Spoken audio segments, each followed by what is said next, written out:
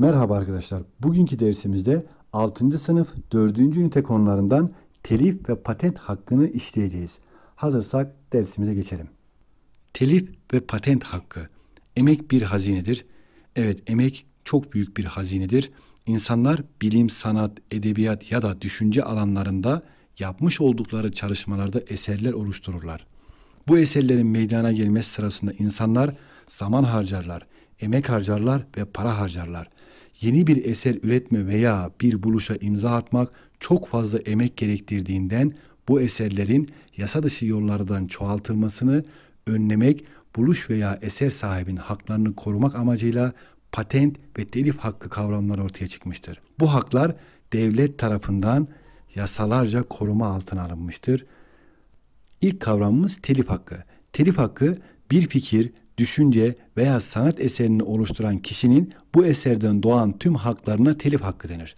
Kısaca bir ürünün kopyalanmamasına, çoğaltılmamasına izin vermeme hakkıdır. Telif hakkı koruma süresi eser sahibi yaşadığı sürece ve ölümünden sonraki 70 yıldır. Yani telif hakkı kişi hayatta olduğu sürece ve öldükten sonra 70 yıl geçerlidir. 70 yıl sonra ise artık bu herkesin kullanım alanına sunulabilir. Peki telif hakkı hangi ürünlerde olur? Kitaplarda, müzik eserlerinde, resim ve fotoğraflarda, filmlerde telif hakkı olur.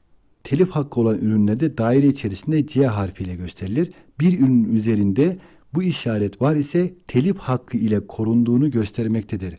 Copyright sözcüğünün baş harflerinden alınmıştır. Yani copyright telif hakkı anlamına gelmektedir. Eser sahibinin izni olmadan kimse kullanamaz. Eserlerin üzerinde eğer daire içerisinde C harfini kullanıyorsak bu eserin telif hakkının alınıp kullanılma izninin alındığını anlayacağız. Telif hakkının korunması dünya üzerindeki bütün ülkeler telif haklarını korumak için anayasalar tarafından koruma altına almıştır. Artık kanunlar tarafından bunu koruma altına almıştır. Biz de 1982 tarihli anayasamızın 64. maddesinde devlet sanat faaliyetlerini ve sanatçıyı korur sanat eserlerini ve sanatçının korunması, değerlendirilmesi, desteklenmesi ve sanat sevgisinin yayılması için gereken tedbirleri alır. 58-46 sayılı fikir ve sanat eserleri kanunu ile ise eser sahiplerinin hakları korumak amaçlanmıştır. Bu anayasamızdaki maddeyle ve bu kanun maddesiyle telif hakları koruma altına alınmıştır. İkinci bir kavramımız patent hakkı. Patent ortaya konulan buluşla ilgili veya bir icatla ilgili her türlü kullanma hakkının onu bulan kişi veya kuruluşa ait olduğunu gösteren belgeye biz patent hakkı diyeceğiz. Bir icadın veya bir buluşun bana ait olduğunu gösterir belgeye biz patent diyeceğiz. Patent nereden alınır? Bizim ülkemizde patent Türk Patent ve Marka Kurumu tarafından verilir. Yani herhangi bir buluş veya icada Türk Patent Kurumu patentini verir veya bir markayı markalandırır. Yapılan buluşların patent ile korunmasının amaçları nedir? Bakalım bu önemli bir konu. Bir, niçin biz patent veriyoruz? Patent vermemizin amacı ne? Bir, yaratıcılığın korunması ve desteklenmesi amaçlanıyor. İki, buluş faaliyetleri özendiriliyor. Üç, buluş sahibi ödüllendirilmiş oluyor. Çünkü bir buluş veya icat yapmak insan için çok uzun bir zaman alacağı için bu kadar emeğin karşılığının verilmesi gerekiyor ve koruma altına alınması gerekiyor. Yoksa icat veya buluş yapma konusunda istekli olmazlar. Patente alınan bir ürünün üzerinde de R harfi gösterilir. Bir ürünün üzerinde eğer R harfini görüyorsak bunun patentin alındığını anlayacağız. Şimdi gelelim ülkemizin ve dünyanın sorunlarından bir tanesine korsan ürüne. Sahibinden izin almadan kitap, film, CD veya DVD gibi fikir veya sanat eserlerinden çoğaltma yapılarak elde edilen ürünlere korsan ürün denir hak sahibinin izni olmaksızın üretilmiş bir ürünün korsan ürün olarak adlandırılır. Hak sahibi izin vermemişse buna biz korsan ürün diyeceğiz. Korsanla etkin mücadele etmek için Türkiye Basım Yayın Meslek Birlikleri kurulmuştur. Şimdi korsanla mücadele için kurulan kuruluşlara bakalım. Bunlar sivil toplum kuruluşları. 1. İlisam, İlim ve Edebiyat Eserleri Sahipleri Meslek Birliği. 2. SESAM, Sinema Eseri Sahipleri Meslek Birliği 3. MESAM Musiki Eserleri Sahipleri Meslek Birliği. 4. GESAM Güzel Sanat Eseri Sahipleri Meslek Birliği. Bunlar da ülkemizdeki sivil toplum örgütleri. Bunlar korsanla mücadele ediyorlar. Yeni bir kavramımız bandrol. Bandrol denetim puludur. Ürünün Kültür ve Turizm Bakanlığı tarafından onaylanmış orijinal ürün olduğunu ispatlar. Kitap, CD, radyo veya televizyon gibi ürünlerde bulunur. Yanındaki görsele baktığımızda bir ürünün arkasında bu bandrolün olması o ürünün korsan olmadığını gösteriyor. Evet bir kitap, kitabın arkasında bu şekilde bandrol var. Bunun korsan olmadığını anlıyoruz buradan. Arkadaşlar şimdi de çözeceğimiz sorularla konumuzu daha iyi kavrayıp pekiştirelim. 1. Patent hakkı icat ettiğimiz buluşun kullanma hakkını belirli bir süre için bize vermektedir. Evet doğrudur. Korsan ürünler orijinaline göre ucuz olduğu için her zaman daha kazançlı çıkarız.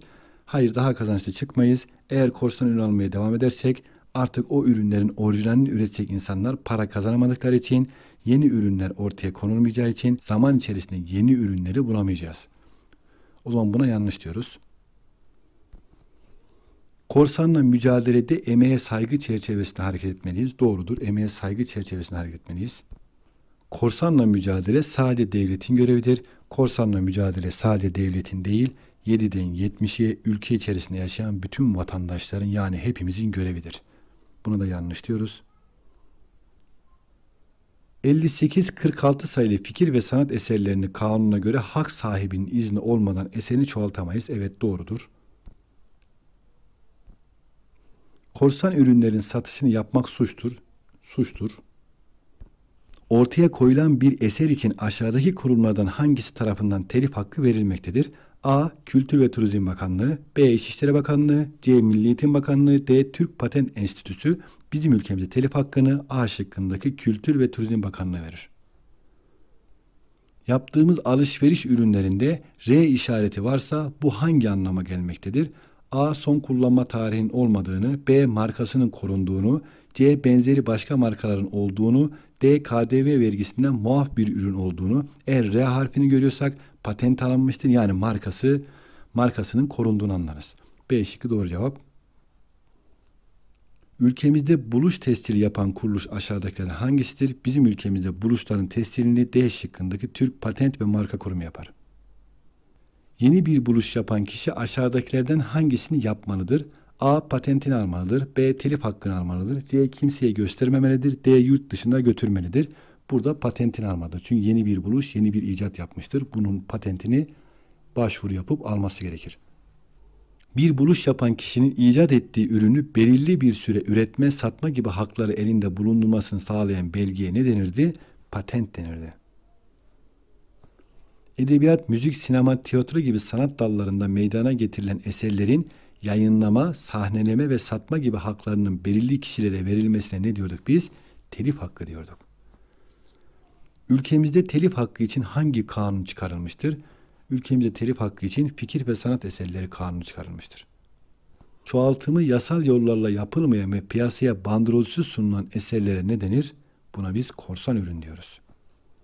Evet arkadaşlar dördüncü ünitemizin telif ve patent hakkının sonuna geldik. Bir başka konuda görüşmek dileğiyle. Hoşçakalın.